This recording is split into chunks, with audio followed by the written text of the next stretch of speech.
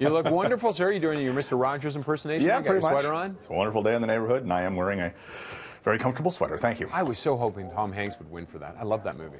Thought it was great. And he was up for sp- supporting.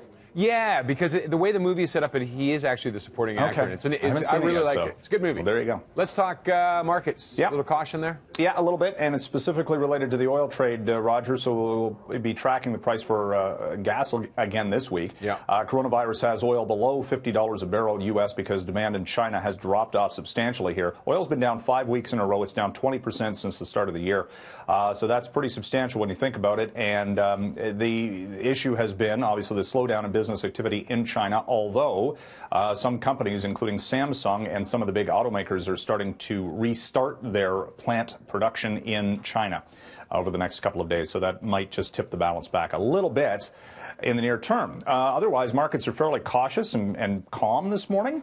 Uh, last week was actually a bit of a surprise considering how strong the TSX and the U.S. benchmarks were. The Dow is up by three percent over five days. Uh, we don't typically Wow. see that, but uh, again, earnings have been good. Interest rates are low. There might even be more monetary stimulus. A whole bunch of things at play here, sending stock prices up.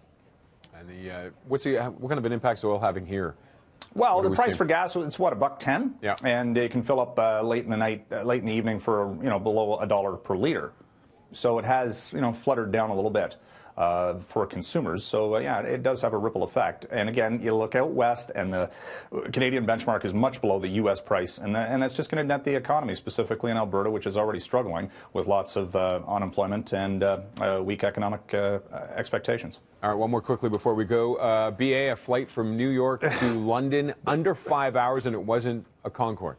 No, it wasn't. The Concorde top speed was 1,300 miles per hour back in the day. Uh, this 747 uh, flown by British Airways had this massive tailwind going across the pond from uh, Winter Storm Ciara, which hit uh, Europe over the weekend and delayed a lot of flights. But they're saying this plane was reaching a ground speed of more than 800 miles per hour. Oh. Did it in 4 hours 56 minutes.